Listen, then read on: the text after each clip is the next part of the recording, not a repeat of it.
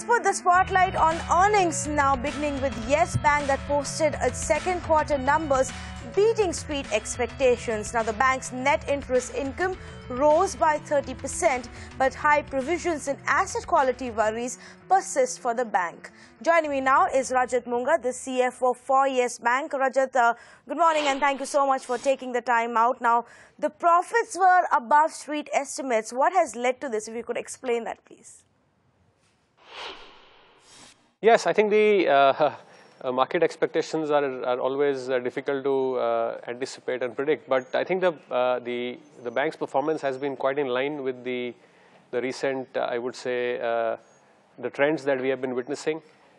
you will see that the bottom line of the bank has increased by 21% year on year in the third quarter. In the second quarter ended September 30th, 2013.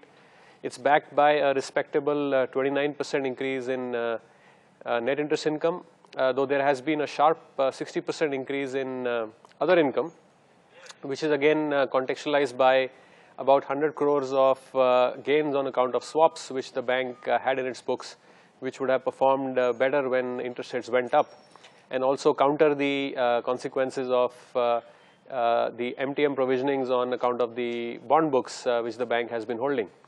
So I think uh, in aggregate, the, uh, the performance has been uh, quite satisfactory. Given the uh, macroeconomic backdrop, uh, RBI policy, uh, interest rate volatility, I think the outcomes are, are reasonably satisfactory. Raja, the net interest margins came in at about 2.9%. Now, what is the outlook as far as this is concerned, especially where the industry experts have now started to anticipate rate hikes for the rest of the year? Yes, so uh, we did uh, report a, a, net interest margin position of 2.9% for the uh, September quarter. This already has a 10% 10 basis point reduction from the June quarter uh, of this current year.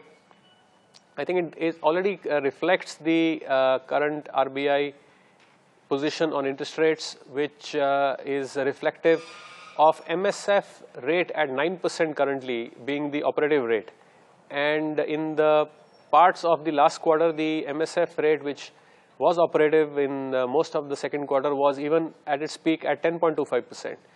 So going forward, if at all RBI is looking at raising repo rates further, it is still a function of what the effective rate is, is going to be.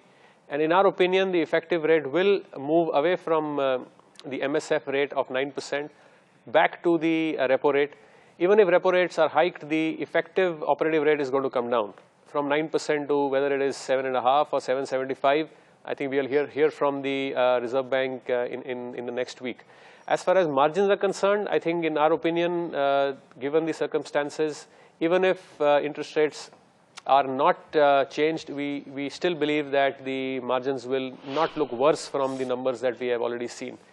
And depending upon how RBI uh, unfolds the or normalizes the interest rate structure, we can expect that our margins also will begin to normalize closer to the 3, 3.1% levels that we were seeing before the RBI policy uh, of MSF introduction came into place.